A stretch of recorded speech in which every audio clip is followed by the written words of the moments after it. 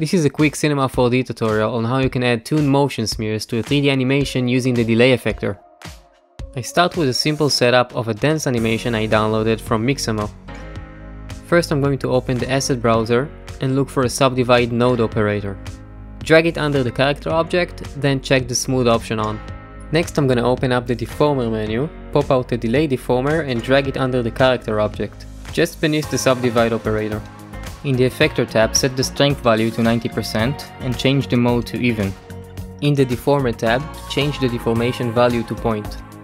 In the Field tab, I'm gonna look for a shader field and in the shader selection, click on the Fresnel effect. And there you have it, simple and effective toon motion smears that add a lot of energy to your animations. You can play around with the strength settings or the Fresnel ramp to get the exact look you're going for. Note that this effect is camera driven, so if you have a dynamic camera in your scene, it might be best to cache out the geometry with a static camera before hitting render. If you find this trick useful, please leave a like and subscribe. Thanks for watching!